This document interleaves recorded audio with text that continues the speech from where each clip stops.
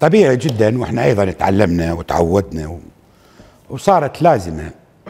إنه كل ما تجي الموازنة تشتد الخلافات وتتأخر إقرار الموازنة وما يبقى شيء من السنة. وقال لك يا بس سنة أقرينا الموازنة.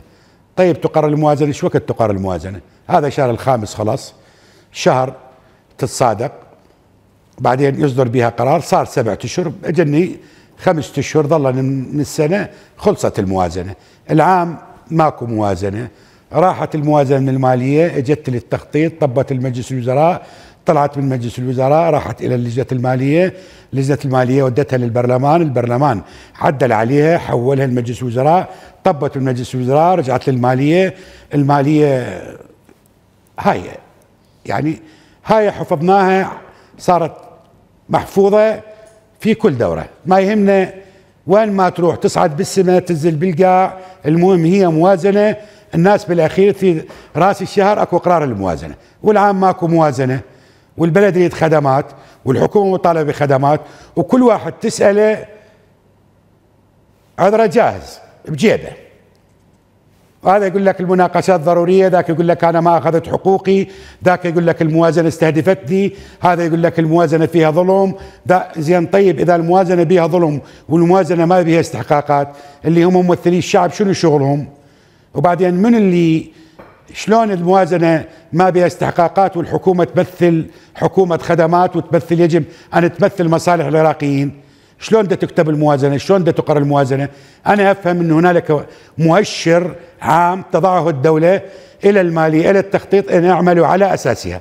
هذا المؤشر يتأتى من خلال الاتفاق والرؤى المشتركة بين مكونات الدولة والحكومة العراقية والبرلمان. التخطيط تابع إلى مجلس الوزراء، المالية تابعة إلى مجلس الوزراء، مجلس الوزراء موجود ممثل لكل الشعب العراقي، يتفق تعطونا موازنه، إيه سويتوها رطينا من ذاك اليوم لهاليوم، ماكو موازنة اتفقوا، واحد يصرح من النواب يقول الجماعة قاعدين بقصر العدالة ما أدري بقصر الضيافة ويقول لك يابا لا يطبوا لا يطب عليهم ولا ندري شو يخططون ولا ندري واحد شو يقولون. ذاك يقول محافظاتنا نهبت هذا يقول ما عندنا استحقاقات. ذاك يصيح موازنة. هذا الإرباك. أكو حلقات خفية تديره.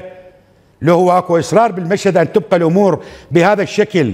وإحنا ما نعرف الجمعة من الخميس. ليش ليش هذا المشهد ما زال مستمر حتى ذاك اليوم؟ الموازنة خبزة العالم. الله يقطع رزقه يقطع الموازنة. هو الله لا يوفق ليوقف بوجه مشروع الموازنة. هو الله لا يعطي العافية ولا يشوف نور نور محمد اللي دا يحارب الشعب بخبزته. إي مكافي ملت الناس. أنتم ما تعبتوا من هاي الأعذار. إي ما تعبتوا من هاي الأسطوانات المشخوطة. اي ما في اليوم الله ينفخ بصورتكم وتحلوا لكم قضية يجب أن تحل لأن هنالك أولويات. ويا اسئله يقول لك مو يمي. ويا اسئله يقول لك أنا مهمش. ويا اسئله يقول لك ما أنا ما ماخذ استحقاقي. زين أنتم اللي تخططون ما ماخذين استحقاقاتكم. إحنا ذول الناس نقول؟